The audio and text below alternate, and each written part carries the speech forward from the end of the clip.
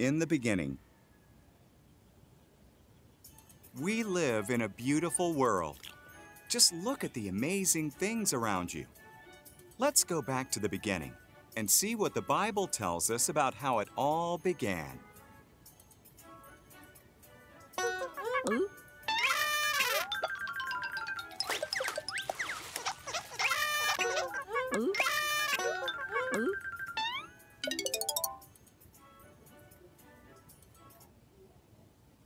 In the beginning, God made the heavens and the earth.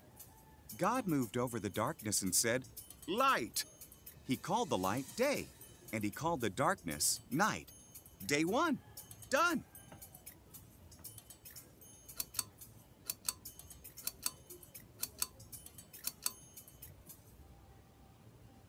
Then, God made a space to separate the waters above from the waters below.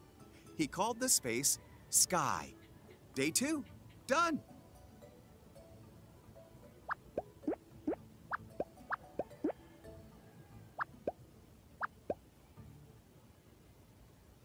God gathered the waters together, and dry ground appeared. He called the ground land, and the waters seas. Then he made plants like grass, grain, and trees. Day three, done.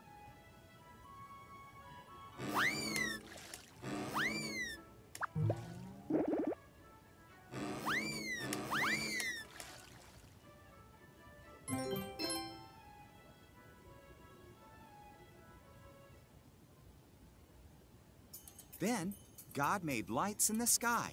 He made the sun for the day, the moon for the night, and all the stars. Day four, done.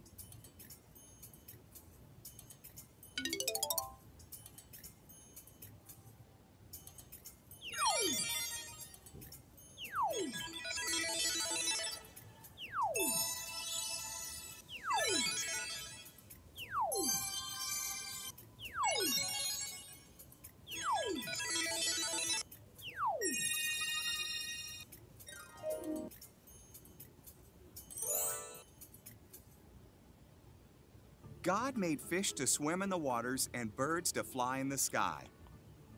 Have babies, he told them. Fill the world with splashing and singing. Day five, done.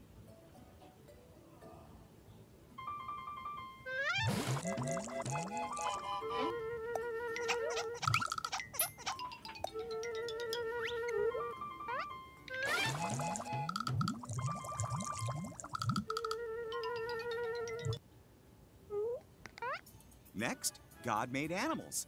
He made farm animals, wild animals, and animals that crawl on the ground.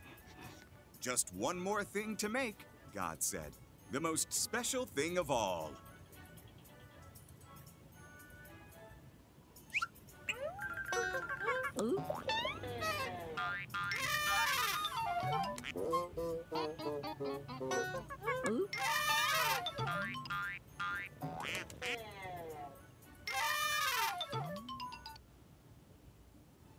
So, in his image, God made man and woman. Have babies, he said. Take charge of the world. Care for the fish, the birds, and the animals.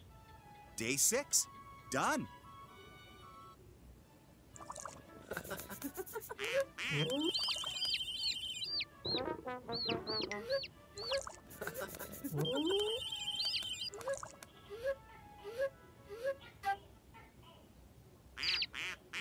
Then, God looked at everything he had made. It's very good, he said. So, on the seventh day, he rested and made that day special. Day seven, done.